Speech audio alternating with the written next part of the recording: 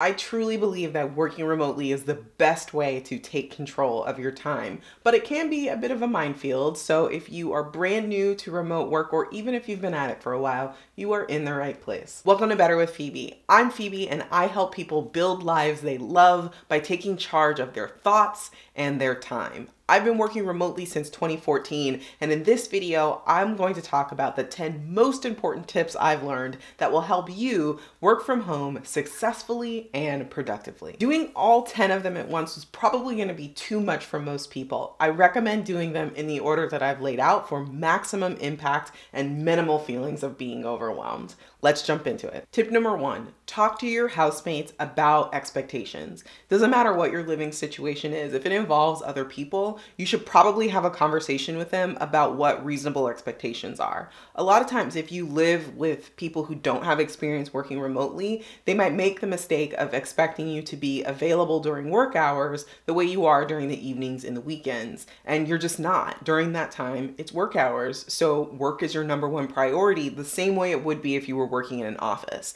Now, if you don't have this sort of conversation, you will probably end up in a situation where someone that you live with asks you to do something or demands of your time in a way that you aren't able to fulfill. And that can create conflict. And that conflict is avoidable by going up front and having a conversation about expectations. Tip number two create a comfortable, dedicated workspace that you can use as a home base. Now, a lot of first time remote workers are surprised to find that their home life and their work life kind of meld together. But the reason that happens is pretty obvious. These activities are happening in the same space. So, the way to mitigate that is also obvious. Try to create some dedicated space where you do your work. Now, a home office is the pinnacle. If you can have a home office, amazing. But a lot of people don't have that luxury. So, if you aren't able to have a home home office, see if you can find a desk, even if it's a small desk that'll fit in your bedroom where you can primarily set up as your workspace.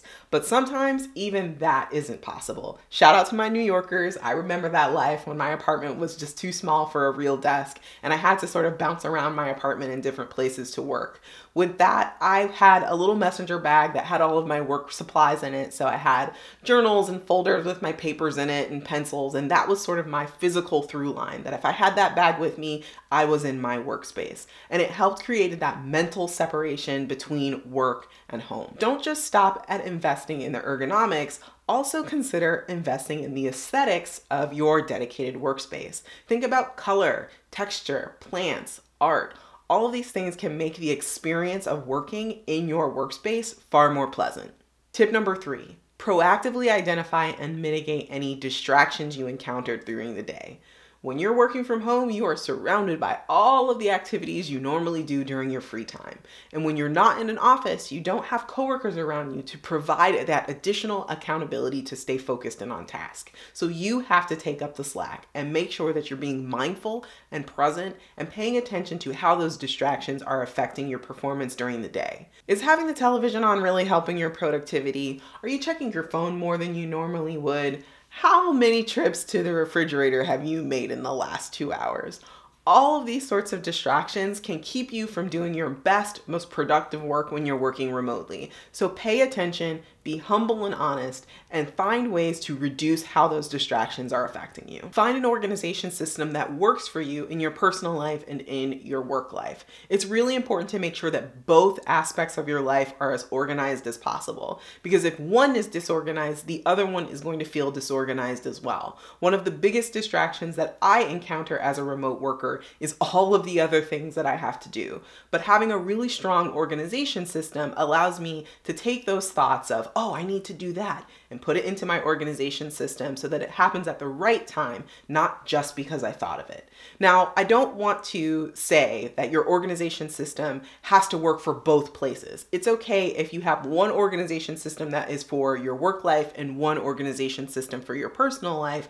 It's even better if you have one that works for both, but you don't have to. Not everyone's situation is going to be conducive to that. The important thing is that both areas are organized so you don't experience distraction, feelings of overwhelm, or anything else that brings down your productivity as a result of having too many things to do and not knowing where they fit in your life. Tip number five, have a solid morning and evening routine. It is a classic work from home newbie move to roll out of bed a couple of minutes before you're supposed to be awake and aware and present for work. That is a terrible idea, like a literal recipe for disaster. Do not do that. Now, I'm not saying that you need to wake up at 5 a.m. and have some elaborate morning routine. That works for some people, it works really well for me, but it's not for everyone. So think about what you need to do as a bare minimum to make sure that when you open your laptop and you're ready to start working, that you are aware, that you are awake, you are present, and you are able to do your job well from the jump. Now, at a bare minimum, that's probably going to be hygiene, breakfast, some sort of morning beverage of choice, tea for me, coffee for many. Make sure you're getting that in as a minimum. That might only take you 30 minutes, but it's definitely not gonna take you just five. Morning routines get a lot of love and they deserve it. They can really supercharge your day. But evening routines are an underrated power move. And when you incorporate a solid evening routine into your day, it can make your mornings and the rest of your day go much more smoothly. So, what do I mean when I talk about having a solid evening routine? Now, it could be elaborate, like the kinds of things that us 5 a.m. wake up people do, but it also could be just as simple as taking five to 10 minutes to think about the day ahead and pull out any things that you need to be successful. Setting out an outfit, getting your notes together, looking at your meeting schedule and making sure that you have everything you need. Spending just a few minutes doing that at the end of the day before you go to sleep can make your day go so much smoother. Tip number six guard your work life balance. Two big traps that remote workers often fall into is allowing work to permeate your personal life to the point where there never really feels like there's a separation. And the second one is being so fearful of not being visible or being perceived as slacking off that you don't take breaks, lunches, and vacations and you don't respect your working hours. It's really important to not fall into those traps. Take breaks, take lunches, take vacations. Respect your work hours. When you're on, you're on. When you're off, you're off. Now, there are some jobs that require a bit more flexibility. You might be at a level professionally where being on call is just part of your job. There's nothing wrong with that, but that doesn't mean that you need to be on and responsive 100% of the time, the same way that you would be during standard working hours. Make sure to protect your work life balance. Tip number seven find alternative workspaces outside of your home.